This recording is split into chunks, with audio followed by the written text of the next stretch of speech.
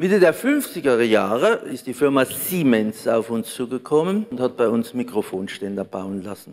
Wir haben dann im Monat 200 Mikrofonstative gemacht, die in der Form ähnlich aussahen, aber da wurden die Füße hier eingeschraubt. Das war ein großer Sockel und die Füße wurden hier eingeschraubt. Und äh, wir Lehrlinge, wir waren dann schon mit beschäftigt, diese 200 Sockel, 600 Gewinde, die mussten wir mit, mit Hand anfertigen. Und zwar mit Gewindebohrer, eins, zwei, drei. Wir waren da eigentlich ganz gut beschäftigt dann damit. Immer den da gemacht, da, zack, zack.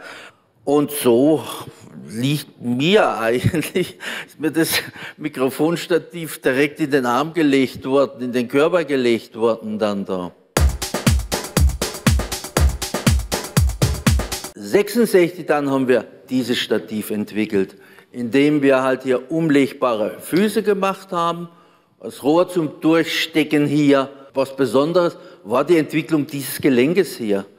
Wir haben dieses Gelenk auch oft wieder dann verändert, wieder andere gebaut, aber es ist einfach Standard geworden. Und dieses Stativ hat den Namen 210 2. Eigentlich kann man das als Handelsware 200, kaufen 210 2 bezeichnen dann da. Ein Highlight für die Mikrofonständer waren die Beatles. Als die Beatles kamen, die da rumgehüpft sind, als die mit Mikrofonständern rum, danach ging es mit Mikrofonstativen deutlich bergauf.